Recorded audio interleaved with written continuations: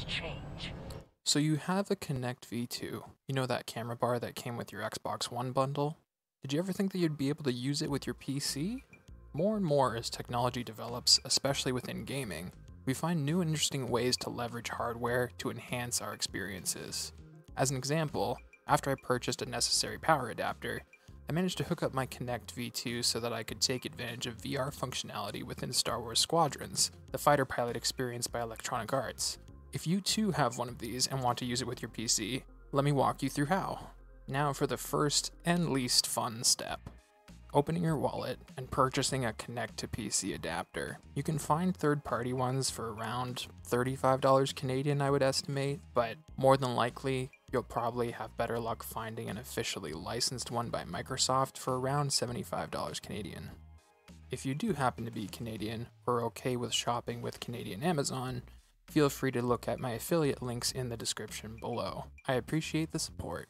Once we have the necessary adapter to power our Kinect V2, then we can connect it to our PC.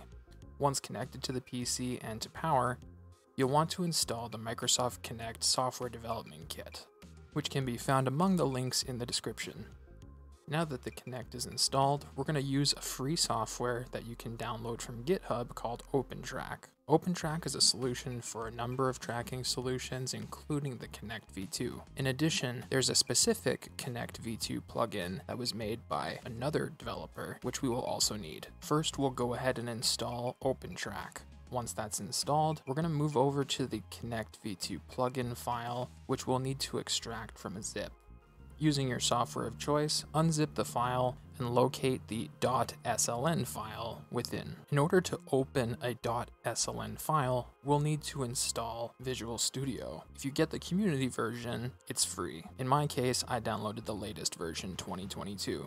You won't need to specifically select certain install packages, just go with the express install, and then ultimately when you go to access the .sln file, you may be prompted to install an additional software package within Visual Studio. Go ahead and do that for the sake of building the software that we need. Once the additional software package is installed on Visual Studio, you'll be able to open the .sln file. When you do, along the top options menu, you'll see Build you want to select build and then batch build dot dot dot closer to the bottom in my case. While reviewing the available configurations within the project, you don't want to select anything except for the checkboxes on the far right under the build column. In this case, the only row necessary is the one listed as a release configuration. Once that box is checked, go ahead and click build. Visual Studio will make quick work of building that file, which will then be located within the same folder where you unzipped this solution, inside Kinect V2 OpenTrack,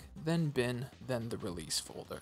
Here you'll find the necessary .exe file that you need in order to run the Kinect V2 plugin. In my case, I created a new folder called Kinect V2 OpenTrack and took all the files from within the release folder and pasted it into that. I'm able to move that folder wherever I wish, and ultimately I decided to create a desktop shortcut of the exe so that I could easily activate it from the desktop whenever I need to use it. Now that we've installed all of the necessary software, it's time to configure. We'll go ahead and start by opening up OpenTrack. The input you'll want to select is called UDP over network. You're going to click the little hammer to configure and then select the port 4242 with a pitch of plus 90. Close that out and I would advise leaving the output and filter alone. You can leave FreeTrack 2.0 Enhanced and Accela respectively. Then start the tracker. Once the tracker is active, you'll see there's an option to stop it, but we'll leave it running. From there, you're going to open the Kinect V2 plugin that we built earlier via the desktop shortcut, or if you want to go directly into that folder in order to access the exe. You'll see a command line prompt open up, which will then show the software working. Once you know that it's open and running, you'll see eventually that game data will start to populate within OpenTrack, showing that it works. Now for some of the further configuration options. Starting off, would highly advise, if nothing else, at least creating a global shortcut for centering. The reason being is that tracking is not perfect. So if ever you lose tracking of the face and it doesn't reset to the appropriate height or position that you're looking for, it might really throw you off in whatever experience you're using it for. In my case, it's Control Shift X. So as soon as I've found my real life comfortable position that I want to consider centered, Then I will activate the center and that will be my zeroed out position, which I can then move my head around as needed. Furthermore, we have mapping for each of the individual axes. You can set it to be symmetrical, whether it's going one direction or the other, or you can do asymmetric. So for example, in the case of yaw, if you want to be able to turn your head so far one way, but not so far another way, I'm not sure why you would want that, but in any case, it's possible. Same is the case for pitch, roll, as well as the X, Y, and Z axes. I find it very useful to have the tracking active as you're trying to make these adjustments so that you can see the way the ball slides along the measuring lines to assist with your calibration. You can also create individual profiles that allow you to specify these mappings for particular software experiences. I hope that was helpful to you. Now that your Kinect V2 is running, let me know in the comments what you're using your Kinect for. Are you using it for gaming? Are you going to try and create some of your own experiences using the tracker? Let me know. If you found this useful, feel free to drop a like and feel free to subscribe. I like posting videos about how to do things as well as talking about technology and gaming. Otherwise, thank you for watching and may the force be with you always.